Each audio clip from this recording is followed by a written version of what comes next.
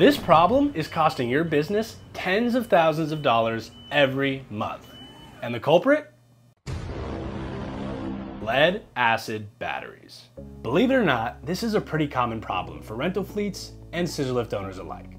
Lead acid batteries have been widely used in the industry for their cost effectiveness and availability. However, there's underlying issues beyond what meets the eye. Take a closer look with us on today's episode of Big Battery Academy. Hey everyone, Scott here, and welcome to Big Battery Academy. If you've ever wanted to learn what goes into powering your applications, see awesome builds from other creators, or get started on a project of your own, this is the place for you. But let's rewind for a sec and understand a deeper problem. The chemistry of lead acid leads to endless maintenance, replacement costs, and horrible performance.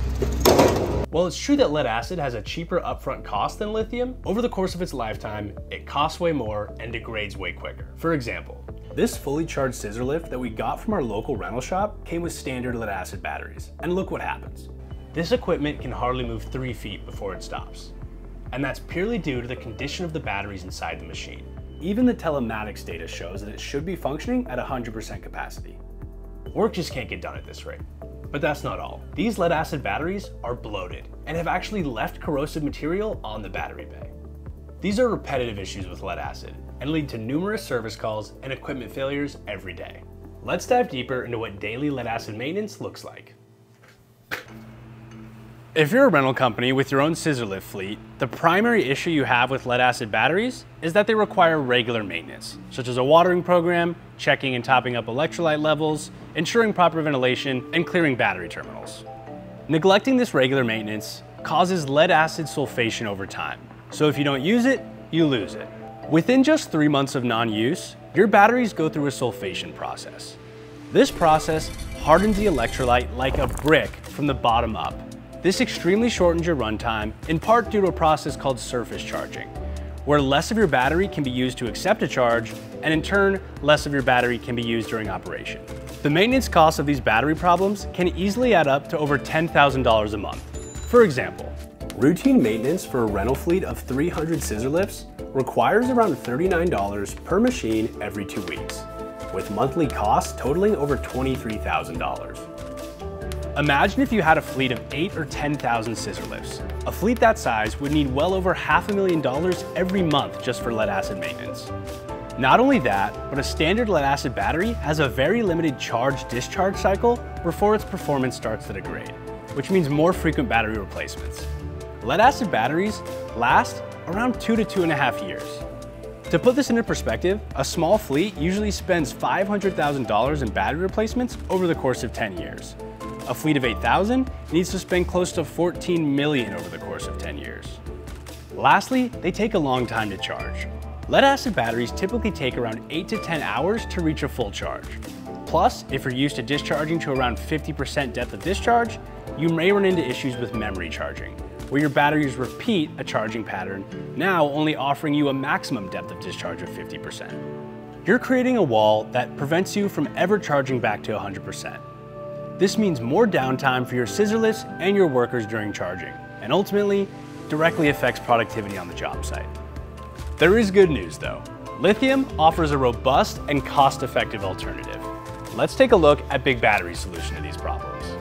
We talked with warehouses, equipment fleets, and manufacturers. We made sure that our lithium scissor lift kit requires zero routine maintenance. You just plug it in, set it, and forget it. That means no more routine service calls, watering programs, terminal cleaning, or losses in productivity.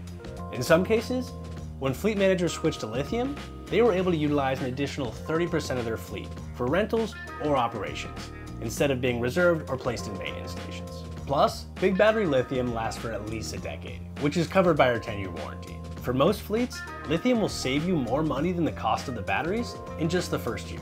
With just two of our 24 volt Eagles, you can replace all four GC2 form factor batteries in a scissor lift and power that scissor lift two to three times longer.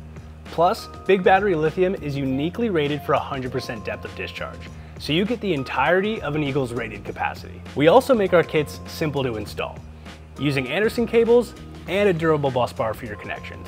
Plus, the best part is, we've developed our kit with a uniquely designed steel ballast. We've engineered a universal counterweight system that works with nearly every major scissor lift on the market today. Plus, we design, engineer, and manufacture right here in the US. We're so confident that our batteries will serve you to their maximum potential that we back them all with a full 10-year warranty. And with comprehensive safety features like our advanced BMS, your batteries are always protected against short circuits, over or under voltage inputs, thermal runaway, and more. Installing the 24 volt Eagle conversion kit is a breeze. First, we'll secure our bus bar to an optimal attachment point for our main positive and negative in our scissor lift. Next, we'll connect all our cabling to our bus bar, making sure to connect all the positives to the positives and negatives to the negatives. Make sure to tighten the bolts with a wrench or other appropriate tool. Then, we install the weight plates to the bottom of the battery. Then we'll set our ballast boxes in place. Together, these components create our counterweight system, specifically designed to account for the reduced weight from upgrading to lithium. Finally, we set in our batteries, connect our cabling, and just like that, we're ready for a day at work. To take a closer look at the 24 volt Eagle, or to get started on your own switch to lithium, check out the link in the description below. Thanks for joining us on today's episode of Big Battery Academy. Be sure to like and subscribe to catch future videos, and visit us over at bigbattery.com to learn more about our energy solutions.